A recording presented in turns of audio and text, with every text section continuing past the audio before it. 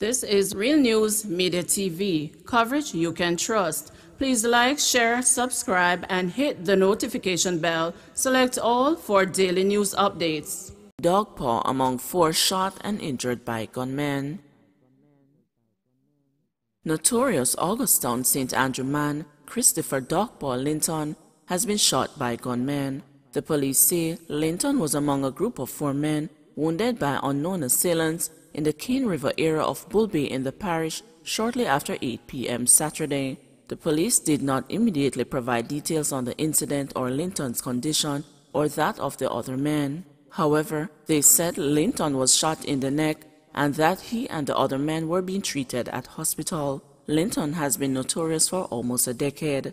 In 2013, he and another man, Micah Allen, were found guilty of gun charges and each sentenced to 15 years in prison for illegal possession of a firearm and 15 years for shooting with intent. But in April this year, they were freed by the Court of Appeal.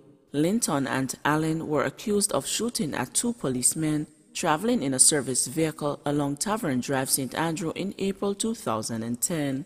The men had denied the allegations at their trial. In quashing the conviction, the appeal court said the identification evidence was unreliable. Please remember to like, share, subscribe, and hit the notification bell. Select all for daily news updates.